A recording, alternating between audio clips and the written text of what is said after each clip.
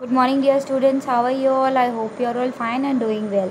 In the last class we completed the exercise number two okay तो जैसे कि कौन ट्रीट करता है डॉक्टर ओके एडजेक्टिव्स वाला पार्ट हमने कंप्लीट कर लिया था. Now it is become an exercise number three complete this exercises sentences with subjects from the box box में से सब्जेक्ट निकाल के आपको ये चीज़ कंप्लीट करनी है ठीक है? Water boils at hundred degree Celsius Elephants like eating sugar, uh, sugar cane. Potatoes are used to make chips. Cakes are made with flour, eggs, and milk.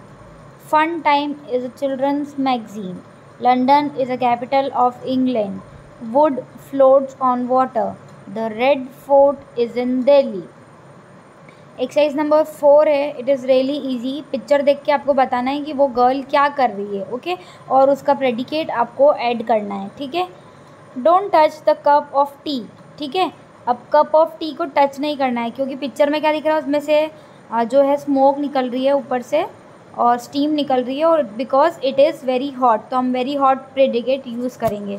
The girl girl क्या कर रही है? Flying kite तो हम लिखेंगे the girl is flying kite I like the painting painting it is beautiful the people तो people क्या कर रहे हैं? ट्रेन से उतर रहे हैं लोग। तो क्या होगा? The people are getting off the train अब चिल्ड्रंस क्या कर रहे हैं? बस से स्कूल जा रहे हैं। तो अपन क्या लिखेंगे? The children are going to school अब द वुमन द वुमन क्या कर रही है? सामने टीवी रखी है और वो वॉच कर रही है। The woman is watching the TV okay we only do exercise number three and four you have to cut the exercise number 5 okay?